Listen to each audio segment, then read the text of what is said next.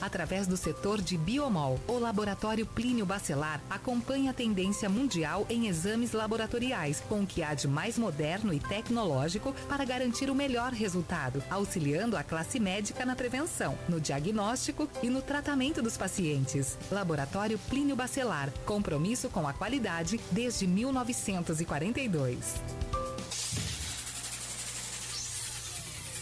Começa agora o Folha no Ar, primeira edição.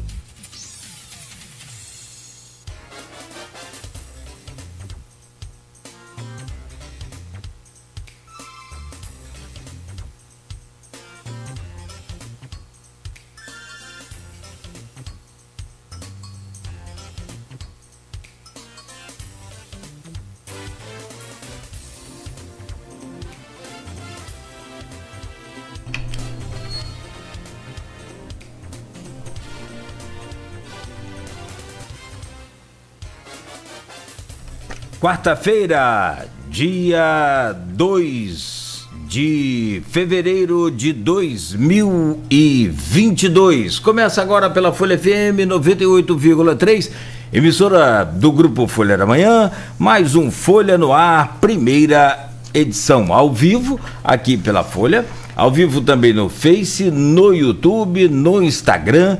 Daqui a pouco esse programa estará disponibilizado em podcast e logo mais tem reprise na Plena TV.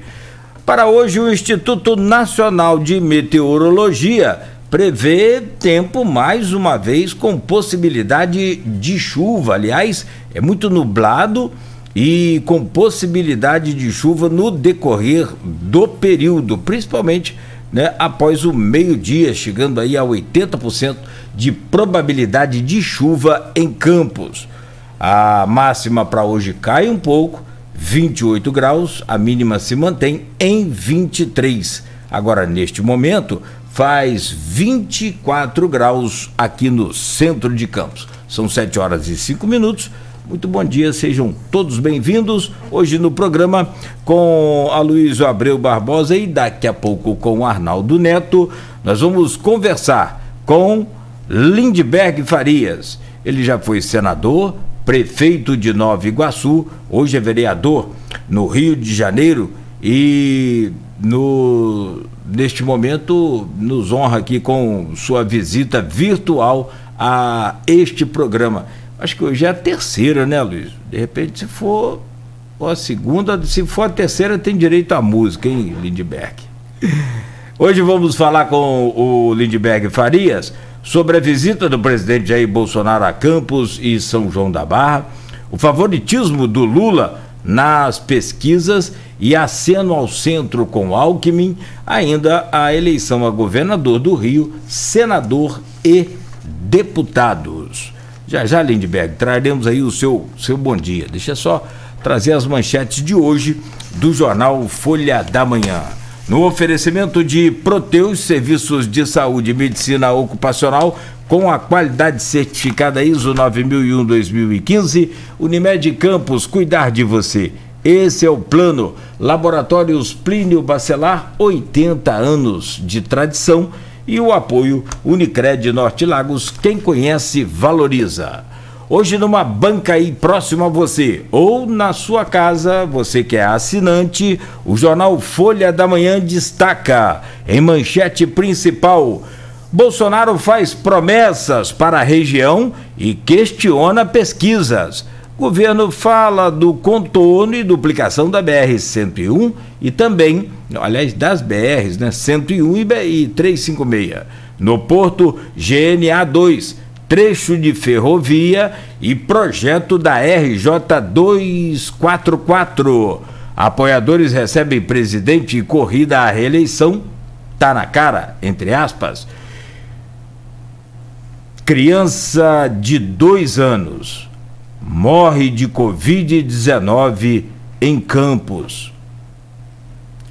É, sem dúvida, uma tragédia. É o primeiro óbito infantil pela doença no ano. Menina tinha comorbidades. A família e aos amigos, todas as nossas condolências e pesares profundos. Que Deus dê força para vocês passarem por esse momento. Pandemia, fase amarela e novo centro de testagem. Chuva e atenção para a elevação do Paraíba. Ainda no jornal Folha da Manhã, vem aí o caderno especial de volta às aulas, hein? E na Folha 2, projeto leva um pouco de atafona para o farol de Santo Tomé.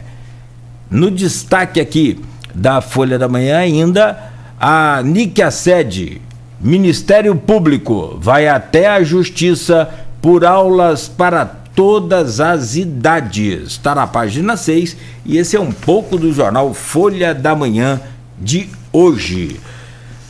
Começando então esse programa e essa entrevista com o nosso convidado Lindbergh Farias. Lindbergh, muito obrigado pela visita mais uma vez. Não é brincadeira, se for a terceira vez que eu vou pesquisar aqui, pode pedir música, se não for, vai se preparando aí.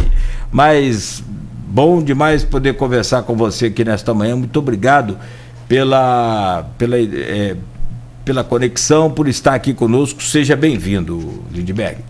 Ô Cláudio, primeiro cumprimentar vocês, e é sempre um prazer cumprimentar o Aloysio Abreu Barbosa. Eu sei da importância desse veículo no estado do Rio de Janeiro. Esse aqui é uma, um dos veículos que tem uma, uma, maior audiência no estado do Rio de Janeiro. Eu sempre digo, tem a Rádio Tupi, tem a Rádio Globo e tem vocês aí. Tem uma audiência muito grande em todo o norte e noroeste. Eu acho, Claudio, que são mais de três vezes que eu participo, porque depois que eu deixei o Senado, eu participei duas. Mas eu, como senador, com certeza participei algumas vezes também dessa entrevista. Então, para mim é um prazer estar aqui com vocês. Bom dia, vamos conversar sobre os temas. Passo para o Luiz e fica à disposição de vocês. Não, depois então escolhe a música. No, ao final, vai pensando aí numa música aí. É, deixa eu trazer o bom dia do Aloysio Abreu Barbosa conosco é, nessa bancada, nos honrando também. É sempre importante e muito bom contar com sua presença. Luiz, bom dia, seja bem-vindo. Bom dia, Cláudio Nogueira. Bom dia, Lidberg. Obrigado pela presença. Bom dia, sobretudo você, ouvinte pelo streaming, telespectador do Folha no Ar. O nosso bom dia especial a duas categorias que sempre nos acompanham nesse início de jornada, de segunda a sexta os taxistas e motoristas de aplicativo. Sabemos que a questão do combustível é um problema sério no Brasil, né? Essa paridade da Petrobras com os preços internacionais, aí joga a culpa no, no ICMS dos estados, é uma, é uma das celemas do, do governo federal e que tem reflexo é, em quem trabalha com combustível fóssil para sobreviver no dia a dia, né? Lindbergh, eu acho que é a terceira vez que você vem ao programa. Duas vezes como, como Folha FM e uma vez, com certeza, é, como Continental ainda AM. Foi aquele, aquela entrevista que gravamos é, por ordem de importância. Lula, você, Zé Maria e eu, ali em dezembro de 2017, na Torre Amada, né, onde, onde Lula, naquele momento como agora, apontava como líder das pesquisas, mas acabou tendo a decisão, é, condenação do Moro, confirmado pelo TRF4. Ele acabaria preso em abril, retirado do pleito. Vamos falar sobre essa questão e várias outras aqui no programa. Mas o primeiro, o primeiro tópico que a gente, que a gente colocou aqui para entrevista foi é, a, visita, a visita de, de Bolsonaro na segunda-feira, né? É, chegou oito e pouco, quase nove horas no aeroporto, Bartolomeu Lisandro, falou com correligionários, teve também pessoas protestando, né? É, contra ele e tal. Teve um, um militante que não é nem só anti-Bolsonaro, militante do nem nem, nem Bolsonaro nem Lula, que tentou jogar um ovo nele, foi preso, Logicamente, a gente não deve estimular atos de violência física contra, contra candidato algum. E depois foi o Porto do Açu, né, encerrou lá uma placa de, da pedra fundamental do, da GNA 2, investimento importante do Porto do Açu. É, foram anunciadas obras para EF 118, Vitória, Rio e Porto do Açu. é, a, a, a serem bancadas pelo Porto, né, o verba, o verba privada, e também obras da BR-101 em Campos. E aí sim, com, com verbas federais, já estão, as verbas iniciais bancadas da bancada federal já, já estão, parece que, garantidas. Falta fazer a licitação. E também chegou a anunciar 14 milhões para o Hemocentro de Campos, um verbo federal, que não se concretizou. Enfim, fez também, é, foi uma visita de campanha, né, embora, é, embora formalmente não tenha sido, mas foi. É, criticou muito o Lula e tal, questionou as pesquisas, como o Cláudio Nogueira acabou de falar. Como é que você da capital viu essa visita de Bolsonaro a Campos e São João da Barra? Bom dia. Bom dia, Luiz. Deixa eu falar uma coisa para você. Se tem uma marca do governo Bolsonaro, é, e agora nós estamos chegando no, no ano de eleição, é a falta de realização de projetos de governo. Você lembra daquele último ato no dia 7 de setembro, que ele fez em Brasília, em São Paulo? Foi um ato em que ele reuniu sua base e atacou ali Alexandre Moraes, atacou o Supremo Tribunal Federal. Eu, porque vivo na política, eu, eu assisti todo o discurso do Bolsonaro ali na Avenida Paulista. Aloysio, parecia que ele não era presidente da República. Porque ele falou contra o Supremo, falou contra isso, mas ele não falou de emprego, ele não falou de combate à fome, ele não falou de investimentos, ele não falou de educação, ele não falou de saúde.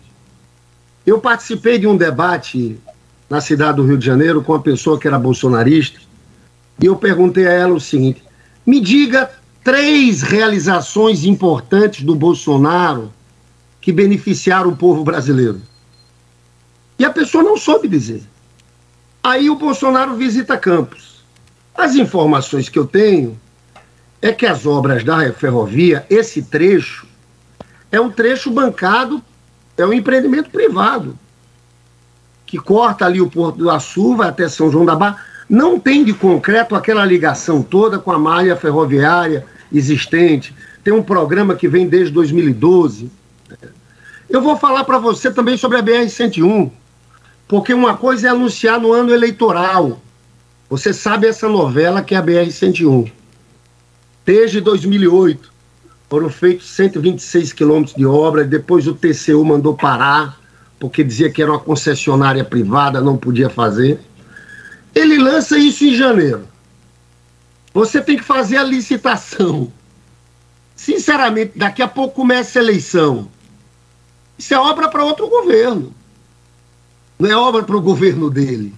Então eu vejo muito falta de coisas concretas para ele anunciar, não só em Campos, mas em qualquer lugar do Brasil.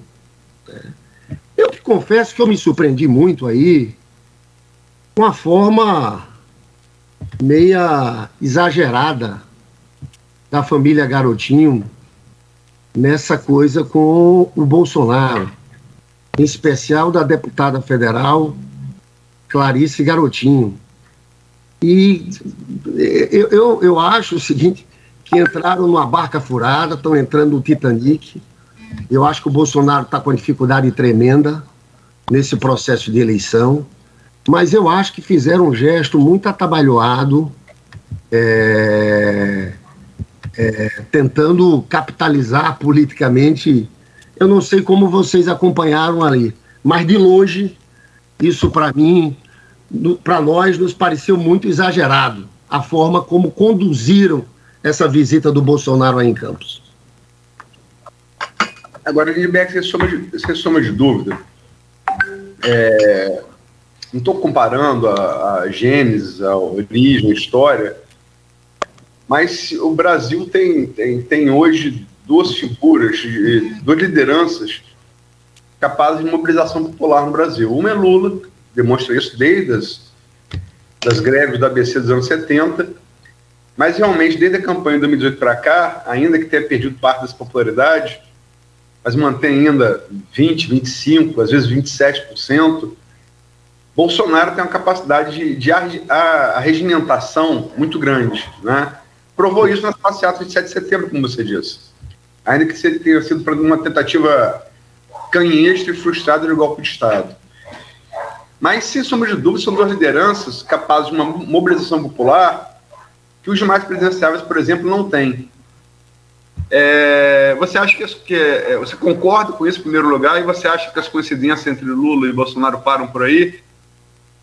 Eu concordo com você. Nós estamos falando aqui de duas lideranças que têm força, teve um papel de mobilização popular muito grande. Eu enfrentei como candidato a senador aqui no Rio de Janeiro. A gente via a força do Bolsonaro naquele processo, naquele processo todo. É claro que aquilo foi fruto ali de uma perseguição que houve ao presidente Lula, um processo de criminalização do PT. Aquilo acabou gerando aquela força do Bolsonaro. Sei da força do Lula. Agora, Luísio, o problema é que Bolsonaro está perdendo muito. E sabe por que Bolsonaro está perdendo? Está perdendo por causa da vida do povo. A vida do povo está muito dura.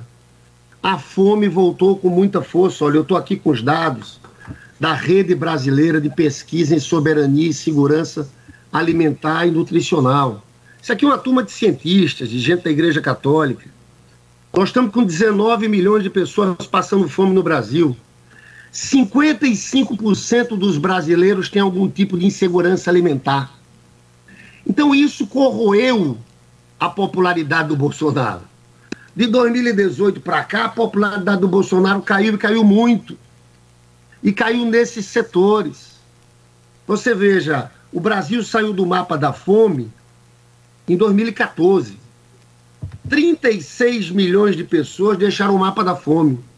Nós estamos tendo uma volta muito violenta. Por que Bolsonaro está perdendo?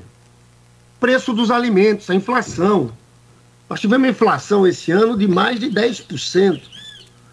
A pessoa não consegue mais comprar carne preço do arroz, preço do feijão. E aqui entra uma discussão que pouca gente sabe, Aloysio. Eles destruíram uma política que existia da Conab, que era de regulação de estoques. Você sabia que a Conab armazenava toneladas e toneladas de grãos de arroz? Quando o preço internacional subia, o governo soltava aquilo. Isso acabou. Você tinha programas nessa área que eram programas muito importantes. Você falou aí do preço da gasolina. Você falou do botijão de gás.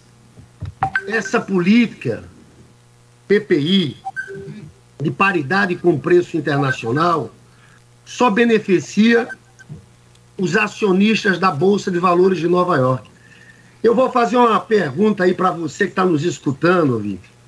Você quer saber quantos aumentos houve no governo do Lula em oito anos do botijão de gás? Zero.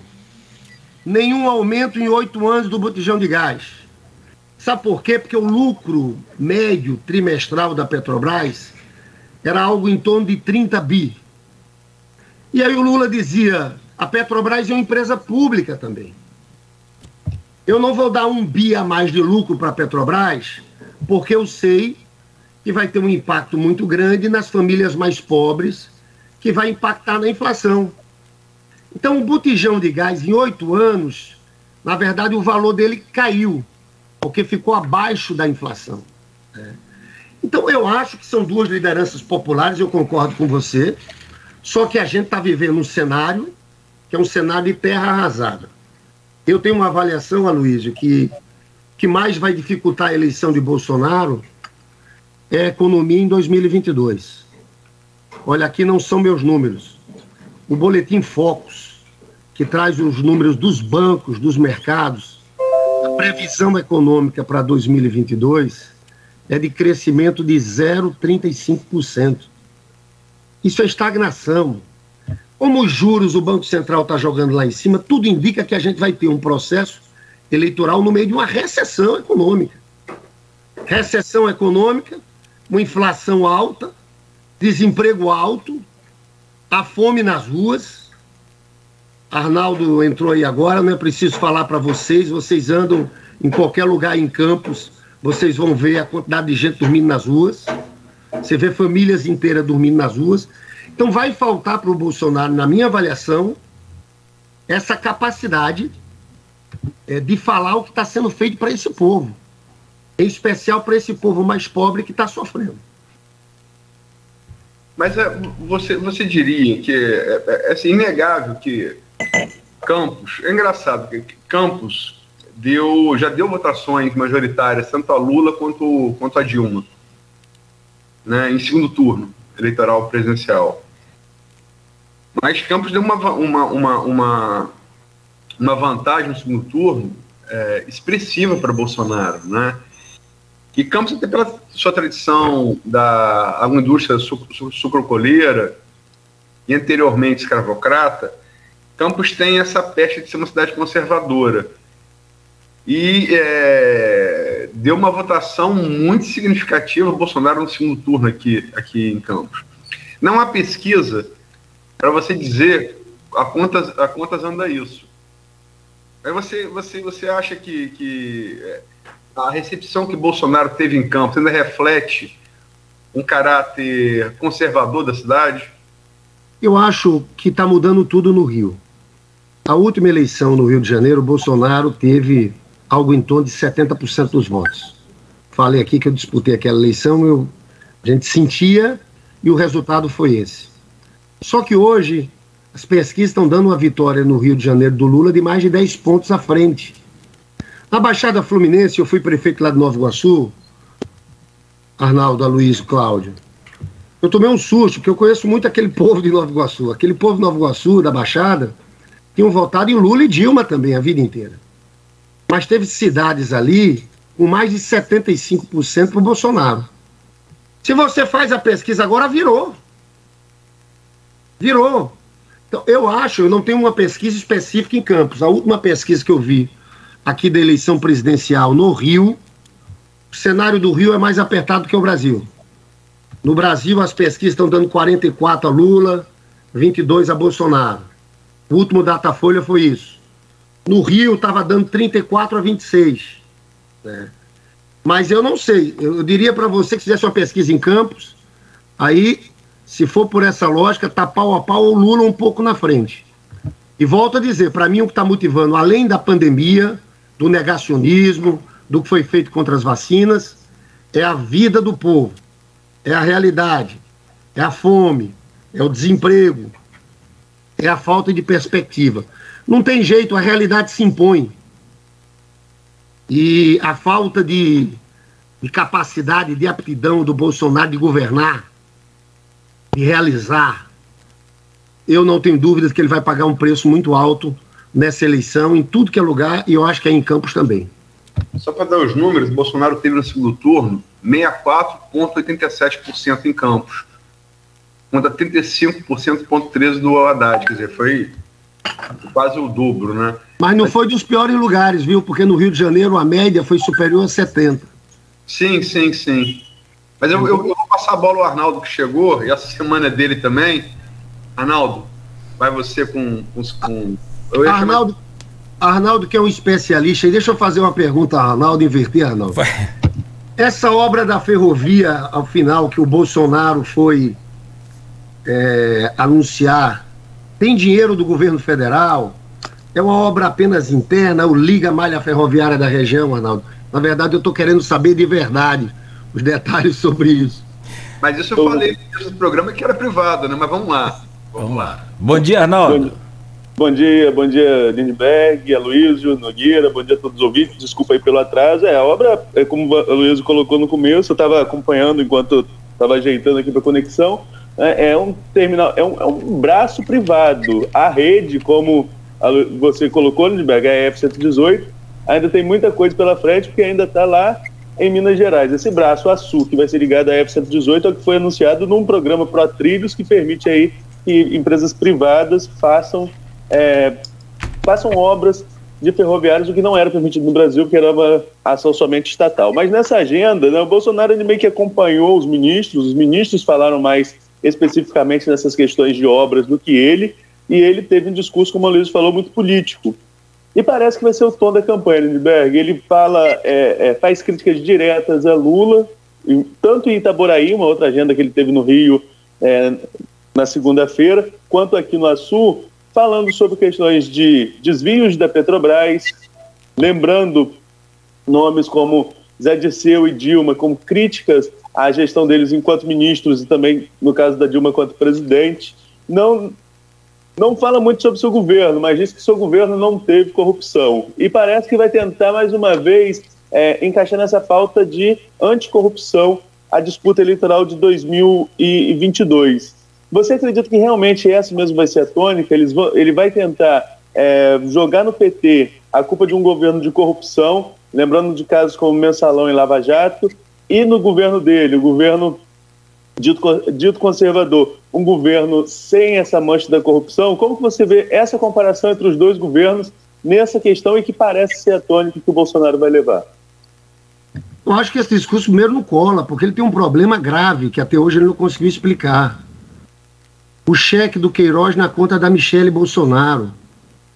A questão da rachadinha. Eu falo sempre nesse caso, viu, Arnaldo Luiz? Esse caso é uma investigação que já surge com provas. Ele, a vida inteira, utilizou a estrutura dos três mandatos do filho e dele como uma forma de ganhos de benefícios pessoais de compras de imóveis. Veja bem, é uma acusação muito forte, muito direta, que até hoje ele não respondeu. Essa coisa do Flávio Bolsonaro é gravíssima, pessoal. Agora, como é que um sujeito desse, o Queiroz, agora disse que é candidato a deputado federal? Aquele advogado que protegeu ele, escondeu ele lá no sítio, aí sim, em Atibaia, você lembra? Ele anda por Brasília defendendo Flávio Bolsonaro. Qual é a autoridade desse pessoal para falar de uma coisa como essa? E você tem o fato da prisão do presidente Lula ter sido anulada. Esse é um debate que vai ser feito, né? Pela mais alta Corte Suprema do país, porque a gente sabia desde o começo, a gente dizia desde o começo que aquele processo não poderia acontecer em Curitiba daquela forma. Então, veja, ele tem uma fragilidade muito grande de impor esse discurso de corrupção aqui, é só perguntar para ele, Queiroz, e os 42 mil na conta da Michelle Bolsonaro? O que, é que ele vai responder? Porque até agora ele não respondeu. Né? E fora outros malfeitos do governo. Agora, esse é um tema que o Lula está se preparando muito, que a gente vai se preparar, vai se dedicar. Eu quero dizer uma coisa a vocês. É, corrupção existiu, em vários governos, existiu nos nossos governos e tem que ser uma luta constante contra ela. Agora, eu quero lembrar a vocês o seguinte: na verdade, as estruturas de fiscalização e de combate à corrupção foram fortalecidas no nosso governo. Você sabia que antes do governo do presidente Lula, você teve oito anos de governo Fernando Henrique Cardoso, houve 40 operações da Polícia Federal, para uma média de oito por ano. Quem deu autonomia para a Polícia Federal foram os governos do PT. Quem deixou o Ministério Público é, com mais liberdade de atuação também foram os governos do PT. Agora a gente vai ter que também aprender as lições desse processo, de processo todo, de nomeações estatais, né? porque, por exemplo, é, eu acho que nós vamos ter que criar, e vai ser apresentado pelo programa do governo do PT, uma blindagem quanto a isso. Agora, concretamente, eu acho que esse discurso não cola. Né? Acho que Bolsonaro vai tentar, vai, vai apanhar muito disso, vai mostrar que ele não tem credibilidade para empunhar aquele discurso que ele usou na campanha passada de, de combate à corrupção, né? e vai se impor uma outra pauta. Eu acho que a pauta dessa eleição, eu estou falando aqui desde o começo, é a crise econômica, é a fome, é pobreza, é quem pode gerar empregos. Né? Eu acho que nós vamos ter um debate rico sobre isso também, viu, Aloysio? Sobre teto de gastos, sobre o que deve ser feito no próximo governo, sobre quais são as chances da gente retomar o crescimento econômico. E aí onde eu acho que o Lula se fortalece muito, porque as pessoas têm a lembrança do seu governo, que na época dele todo mundo vivia melhor, as pessoas tinham dinheiro para comprar um carro, você tinha Minha Casa Minha Vida, você tinha políticas sociais. Então eu acho que essa, esse caminho do Bolsonaro mostra mais um certo desespero E ele mostra a força do Lula, né? Porque ele tenta puxar outros personagens do PT, porque sabe que o Lula é uma figura mais ampla, né? É como se na pesquisa não tivesse batendo esse ataque ao Lula. Bom, Lindbergh, aproveitar aqui esse gancho sobre questão de corrupção e utilizar uma pergunta do grupo de WhatsApp deste programa em comum com o blog Opiniões, que é do, do Aloysio Abreu. E vem essa pergunta da historiadora, né, historiadora do Brasil, você já sabe como é que é, né? Diretora de Arquivo Público Municipal, a Rafaela Machado. Voltando ao assunto Campos. Campos pode ser considerada uma cidade com tendências conservadoras que se refletem em, em, em muito no campo político com o antipetismo dos últimos tempos. A cidade passa por um processo, como em outros lugares do Brasil, em que os candidatos do PT vêm encontrando muitas dificuldades em eleições e no que diz respeito ao alcance de votos, inclusive dentro do que antes foi a própria base do grupo, ou dos grupos, né? O que o partido tem pensado para reverter esse quadro em campos e região? E quais serão as estratégias utilizadas pelo PT, e aí em âmbito nacional, mas também no Rio e em Campos, para reverter a onda do antipetismo e antilulista? Afinal, essa onda parece ter diminuído, mas não cessado. Ela te faz duas perguntas então. Olha, primeiro a gente tem que falar muito do que a gente fez também na região. Olha, eu. Você sabe uma coisa que foi feita nos governos do Lula e da Dilma aí, com muita força? O investimento em institutos federais de educação, os institutos federais fluminenses. A ampliação das vagas nas universidades públicas. Cara, você anda aí no norte e noroeste, você vai em Santo Antônio de Pádua, eu, inclusive, era senador, ajudei a levar aquele Instituto Federal em Santo Antônio de Pádua. Você vai em Bom Jesus, você vai em Itaperuna, você vai em Campos, Aloysio. Eu sei, Cláudio, que vocês também compartilham da minha admiração pelo reitor Jefferson Manhães. Né? O que o Jefferson Manhães tem feito, mas foi no governo nosso que foi criado aquele campus de Guarulhos. O Jefferson Manhães me levou num polo de inovação tecnológica dele, tem lá na, no Instituto Federal, que é um sonho. É assim que a gente democratiza, a gente abre espaço para o interior, para os filhos dos trabalhadores. Então tem muita coisa que nós temos. Você vai lá em Santo Antônio de Pádua também, a UF, né? E eu estou falando só disso aqui, mas se eu for olhar cada cidade, você vai achando mais coisas. Aí, São João da Barra, tem o Instituto Federal Fluminense também, tem o, tem o Instituto Federal ali. Então, eu acho que a gente tem que apostar em novos nomes, novas lideranças. Aí eu tenho meu amigo Zé Maria Rangel, que teve uma grande votação para vereador. Eu achava que ele tinha que ter sido candidato a prefeito na eleição passada também. E eu acho que o Lula ganhando a eleição presidencial, a gente vai ter que achar desses novos nomes para recompor um pouco o que é a esquerda em Campos.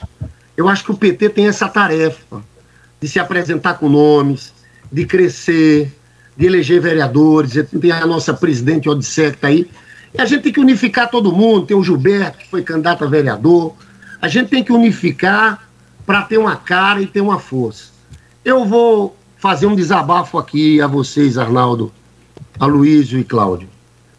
É, eu acho que tem que ter esse caminho diferente aí em Campos. Você sabe, eu vou trazer aqui uma coisa de uma certa decepção pessoal, agora, nesse episódio da visita do Bolsonaro com o garotinho e com a família garotinho. É, uma decepção que eu quero aqui no desabafo fazer para vocês. Você sabe que quando o garotinho foi preso e a Rosinha foi presa, naquelas circunstâncias, eu achei aquilo um absurdo. Porque, da mesma forma que eu estava achando a violência da justiça contra o presidente Lula naquele momento, eu acho o seguinte, viu, Arnaldo, Aloysio, que só se deve prender uma pessoa depois da pessoa ser julgada e condenada. Eu sou contra, numa fase de inquérito, você fazer uma, um negócio daquele e você Então, por princípio, eu me lembro que eu liguei para o presidente Lula, o presidente Lula trouxe solidariedade à família Garotinho. Naquele momento, a Clarissa Garotinho me procurou. Eu liguei para a presidente nacional do PT, a Gleisi Hoffmann, e nós colocamos o, o advogado do PT, que foi ministro da Justiça, Aragão, para defender ali o ex-governador Garotinho naquele momento. O habeas corpus que libertou ele, foi o Aragão que estava à frente de tudo isso. Até hoje, naquele momento difícil do Garotinho, e aí ele não tinha prefeito de Campos, não tinha nada, a solidariedade veio do PT. E digo mais uma coisa, Luiz, uma solidariedade que veio em cima de um fato concreto, porque no governo do Lula, a Clarissa Garotinho ia fazer manifestação na porta do Hotel Glória contra, contra o Lula. Ia fazer manifestação na porta do Hotel Glória. Ou seja, nós não tínhamos nada para defender ali o Garotinho. Defendemos porque acreditamos que aquele processo era injusto. A justiça não pode funcionar como partido político. E nós fizemos todo esse processo até agora. Eu confesso que da minha decepção, não que eu imaginasse nada, uma certa ingratidão num processo como esse, de ver uma cena dessa de bajulação com Bolsonaro, uma cena para mim horrível. Eu fiquei muito mal impressionado. Né? Eu não quero nada, não, isso aqui não significa nada, mas na verdade quero distância, porque isso vê o, o, o ex-governador Garotinho dizendo o seguinte: olha, presidente tem muito, tem Bolsonaro, tem Lula, agora Garotinho tem um só.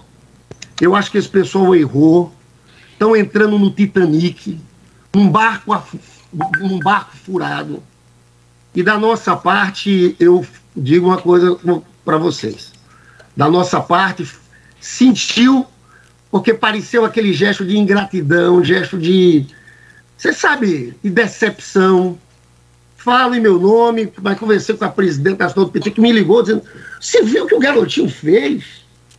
Depois de tudo que a gente fez por eles. Porque na hora, agora eles têm um filho, é prefeito de Campos, mas na hora não tinha quem esticasse a, estirasse as mãos. Então eu trago aqui um pouco, viu, Aloysio, para mudar de assunto, essa decepção com uma coisa que eu acho que é de uma ingratidão muito grande.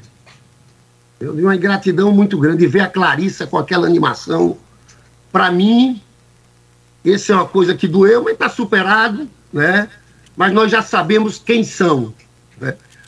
Já, já devíamos saber há muito tempo atrás, mas, mas eu queria fazer esse desabafo aqui. Lindbergh, esse, esse desabafo me lembrou. É, é, é fogo você começar a lembrar de coisa e ver que está ficando velho, né? Mas me lembrou aquele debate do primeiro turno de 2002, que garotinho aquela pegadinha da Cid com Lula, e Lula não soube responder, garotinho. Quis fazer uma troça e Lula. Cuidado, garotinho. Esse é meu evento com a tempestade. Eu acho que você lembra desse episódio. Mas de lá para cá, é, a posição dos garotinhos em relação, em relação a, ao PT oscilou muito. Vocês foram parceiros no governo, na aliança que levou o garotinho ao governo do Estado. Depois brigaram, né? Perderam no primeiro turno para a esposa dele, Rosinha, o governo. Mas isso é uma outra geração. É, em relação a Clarissa, é, é uma deputada que é, parece querer trazer coisas para cá e a gente sabe que Bolsonaro está refém do Centrão. A gente sabe disso. Está refém do parlamento. Então, um deputado que procura trazer coisas para cá, não estou fazendo advogado, advogado de, de, claro. de mas me parece que você foi parlamentar, é parlamentar, mas foi parlamentar no Senado, faz parte do jogo político o representante no, no, no, no Legislativo Federal querer trazer coisas para o seu município. E a situação de Clarissa me parece também diferente da de Vladimir. Vladimir está no, tá no PSD. E disse nesse programa aqui no final do ano, está muito confortável no PSD. O PSD ontem, Kassab é, negou aliança com Lula no primeiro turno, que é o dono do partido, né, prefeito de São Paulo, muito habilidoso politicamente. É, descartou é, a aliança com Lula no primeiro turno, falou em lançar candidato próprio, falou em Rodrigo Pacheco, que não decola nas pesquisas, presidente do Senado, mas a coisa parece bem alinhavada para um, um segundo turno, por exemplo, entre, PS, entre PSD e, e, e PT, com Lula, né? E me parece que a postura de Vladimir é um pouco diferente, talvez, dessa empolgação que você atribuiu aí. É um prefeito receber um presidente, é coisa institucional, como seria qualquer outro, mas me parece, para quem observa a política de campos mais de perto, um pouco diferente. Da de Clarissa, por exemplo. Você não vê essas diferenças, não? Eu, ve, eu, eu vejo, mas te confesso que eu fiquei. Porque de concreto essa visita do Bolsonaro trouxe pouco a Campos. Né? Eu entendo a, a Clarissa querendo mostrar serviço, trouxe pouco a Campos. Eu acho que é uma marca muito forte que vai estar associada à família. Eu quero, inclusive, anunciar aqui, porque eu conversei com a assessoria do presidente Lula toda, que é fake news a tese que divulgada pelo prefeito Vladimir Garotinho, que o Lula ligou para ele depois da, do anúncio da ida do Bolsonaro. O que houve foi uma ligação anterior de algumas pessoas que estavam lá pra, com ele, mas depois da, desse anúncio do Bolsonaro, é fake news. Estou falando aqui, Lindbergh Farias, não houve ligação do Lula para o Vladimir dizendo coisa que ia Campos. Agora, eu acho que é uma marca que vai colar neles. Tá? Uma marca de incoerência, uma marca muito ruim. Eu vejo o Vladimir também, eu sempre vi o Vladimir diferente. Achava a Clarissa mais empolgada com essa coisa do Bolsonaro. Mas eu quero trazer aqui, superar esse assunto, esse, esse meu mal-estar. Eu senti uma vergonha alheia, entendeu? Eles podiam ter evitado isso. De concreto para Campos, nessa visita do Bolsonaro, não veio nada. Quem conhece como funciona obras, Arnaldo? Essa coisa da BR-101, daqui que sai, o presidente é outro. Não sei que Bolsonaro seja reeleito, que eu não acredito, dado o rumo das pesquisas. Tem gente falando até que ele está procurando, estudando caminhos para ser candidato ao Senado. Então, eu acho que cometeram um equívoco, porque o oportunismo político, quando é muito aguçado, acha que a pessoa pode dar, vai para um lado, vai para outro, e está tudo bem. Eu acho que vão pagar o preço. Eu acho que Vladimir tem mais condições de, de recuperar, porque está na prefeitura, era um cara mais, tem uma cabeça mais aberta. Mas eu acho que foi muito ruim para eles, como um todo. Essa é a minha opinião. Tá? Mas vamos em frente. Vamos lá. A gente está estourado, Nogueira, já, né? Sim, sim. Quer... Eu posso fazer só um gancho, então, dessa última, dessa última colocação de, de Lindbergh sobre fake news da ligação? Por favor. E a gente fala sobre isso no, último, no próximo bloco. É, porque essa informação chegou, Lindbergh, teve uma reunião na qual o garotinho teria se colocado a favor da candidatura do siciliano, André Siciliano, presidente da LERJ, a governador do estado, é, e isso tornou público pelo, pelo, de, pela beneficiária do jornal Extra né, dessa reunião e essa posição do garotinho a favor de uma candidatura siciliana. E nessa reunião, parece que Garotinho pediu para que Lula ligasse para Vladimir. É, não teria relação direta com a agenda. Isso realmente aconteceu e essa sinalização de aproximação ao PT do siciliano, que é uma figura é, que deve ser candidata ao Senado pelo partido, depois reafirmou essa possibilidade de candidatura. Mas essa aproximação de querer o siciliano candidato não é um contrassenso para essa, essa questão que você está levantando, porque o próprio Garotinho publicou no mesmo dia da visita do Bolsonaro que não apoia o Bolsonaro nem apoia Lula, não apoia ninguém. Né? Não tem apoio declarado nenhum. Acho também que está esperando um pouco mais para se posicionar, mas eu te falo no próximo bloco. Então vamos fazer o seguinte: como a pergunta é longa, eu vou pedir. Eu só vou é, ah. pedir para que o siciliano a gente tratar no terceiro bloco. Ah, tá. Então fecha para o final. Perfeito. Não, não, mas não é a candidatura do siciliano, é só essa declaração de que o siciliano teria pedido a ligação. Ok, ok, ok. Eu respondo depois, né? Depois Pode responder logo. Responde logo, o, o, o Lindbergh, por gentileza, por favor. Não, porque veja bem, deixa eu te contar. A gente está no meio de um processo de fechamento da federação partidária, que para mim é muito importante, para a gente é muito importante. Nós queremos juntar PT, PSB, PCdoB e PV. Isso aqui vai funcionar como um partido durante quatro anos, entendeu? Nós temos a data de 1 de março. E nós temos uma série de negociações com o PSB. O tema mais difícil é São Paulo, porque a gente não abre mão da candidatura do Haddad. Nós estamos abrindo mão em Pernambuco, onde Humberto Costa lidera, para o PSB. Nós estamos abrindo mão no Espírito Santo, para o Renato Casagrande, que é governador, e nós temos aquele quadro maravilhoso que é o Fabiano Contarato. Nós estamos abrindo mão no Rio Grande do Sul, o Beto Albuquerque. Essa coisa do Rio, da candidatura do André Ciliano, entrou no meio dessa confusão. Aqui no Rio, nós estamos com aliança já consolidada com Freixo, dentro desse esforço de fechar a federação. Então, aquele movimento ali foi um movimento meio fora do tom, do garotinho dizendo que apoiar ele para governador. Ele não é o nosso candidato a governador. André Ciliano, a gente quer que seja nosso candidato a senador.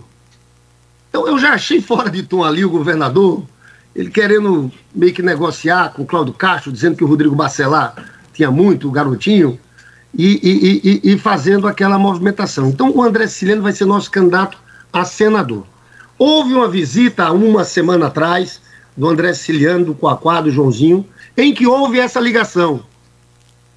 Em que houve, de fato, essa ligação, falaram com o prefeito lá atrás. Que não é verdade, eu digo que é fake news, porque, de fato, com essa coisa do Bolsonaro, o estranhamento do lado de cá foi muito grande. Então ficou parecendo a forma como foi divulgada, foi que depois do anúncio ao Bolsonaro, a forma como o prefeito divulgou, é que o Lula tinha ligado para ele. Isso não é verdade e é essa ligação que eu digo que não aconteceu. Essa anterior você tem razão, viu, Arnaldo? Aconteceu nesse contexto. Agora, o Lula, sabe, deu a declaração ontem na Rádio Tupi, e eu espero que ele esteja aqui na Folha do Ar nesses próximos 15 dias, não é, não é, Aloysio? Eu espero muito que o Lula esteja, porque eu sei que esse é um canal muito importante o Lula falar para uma região grande como essa. É, é, então, não houve essa ligação posterior a essa, esse anúncio da ida do Bolsonaro. É isso que eu quis esclarecer.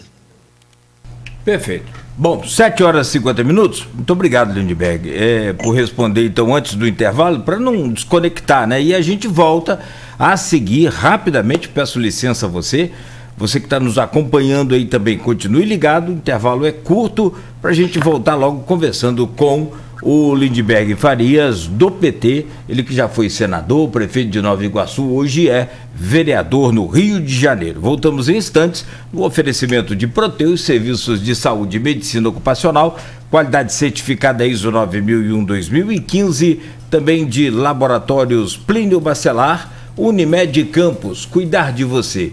Esse é o plano. Unicred Norte Lagos, quem conhece, valoriza. Você sabe o que você só encontra na Unimed Campus? Serviços exclusivos, mais praticidade para marcar consultas, mais agilidade na autorização de exames e facilidade de atendimento. E ainda tem acesso aos programas do Espaço Viver Bem. Essa é a sua Unimed. Conheça mais do que só a Unimed Campus pode te oferecer. Fale com a gente pelo WhatsApp 2720-0661. Unimed Campus. Cuidar de você. Esse é o plano. Quem é parceiro de verdade está com você em todos os momentos. E é por isso que a Unicred Norte Lagos tem as melhores soluções para te ajudar com as despesas de início de ano, IPVA, IPTU, matrícula da escola e tudo o que precisar. Conte com as soluções financeiras da Unicred Norte Lagos para começar 2022 com o pé direito. Entre em contato e conheça nossos produtos. Unicred Norte Lagos. Quem conhece, valoriza. O mercado de tinta evolui a cada dia. Hoje existe tinta para azulejo, para cabo, para piso, para gesso, para madeira, para isso, para aquilo. Tinta para qualquer coisa. A loja precisa de variedade e especialização. Quem não é do ramo fica tão perdido quanto você. Por isso, procure quem realmente entende de tinta e que esteja capacitado para lhe orientar nesse mar de alternativas alternativas. Friaça Tintas, a loja que melhor entende de tintas. Acesse friaça.com.br. Tinta é com quem entende. Friaça Tintas. Com os mais capacitados profissionais de diferentes áreas, a Cooperativa Norte Saúde tem se tornado um referencial de qualidade em campos com serviços como ozonioterapia, laser terapia, home care, capacitação e fornecimento de cuidadores de idosos. Norte Saúde, excelência em cada detalhe. Rua 13 de Maio, 110, Sala 7. Telefone 22 3055 6339.